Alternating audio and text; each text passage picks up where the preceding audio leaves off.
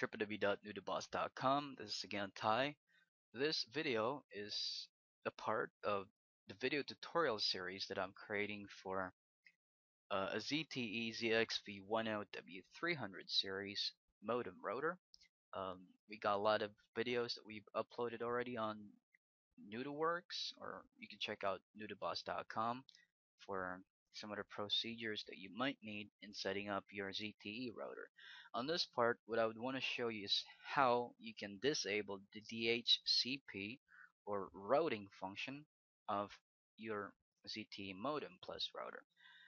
Bring up your Firefox or whatever web browser that you're using. Try to access your router's address 192.168.1.1 if you can't get a page that says username and password, that means that you are typing an incorrect gateway. And how you can check that and how you can configure that, we have uh, another tutorial for that. You just check out on the list from the description below. So right now, if you get yourself this page, username and password, just type in admin and password, just key in whatever password you have. It should log you in and it would bring uh, up a page that says device info. So you could be sure just click on device info again. What we're trying to look up here is to verify the address. Again 192.1.1 here 192.168.1.1 the same. You got something that says DHCP server. That's your host protocol. This is the one that, uh, that gives this device a routing function. What it does is again, the, remember that the modem that you have, the ZTE ZXV10W300 series, uh, has two functions. It's not just the modem, it's not just the router. It's basically two devices combined into one.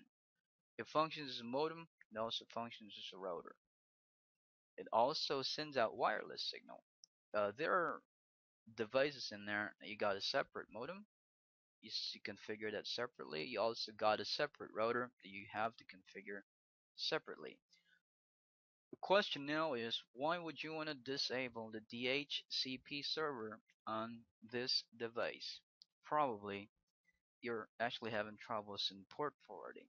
I'm not saying that there's a problem with port forwarding with this device, but there have been troubles sometimes with other people that's also asking on the YouTube channel that we have they're having troubles in port forwarding. So to circumvent that, you just would want to bypass this routing function of the ZTE and you might want to add in a D-Link or Linksys, maybe a Netgear router.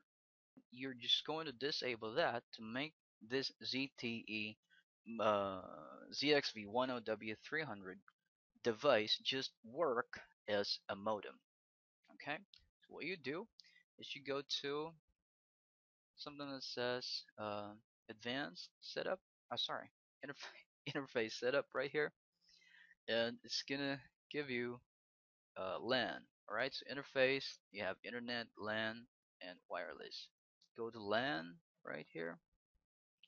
And this is also where you can change your IP but here on DHCP excuse me it says disable enable and relay. So what you do is you just um, check the, the button that says disable then completely save that. Again DHCP right here click on that and then just save it.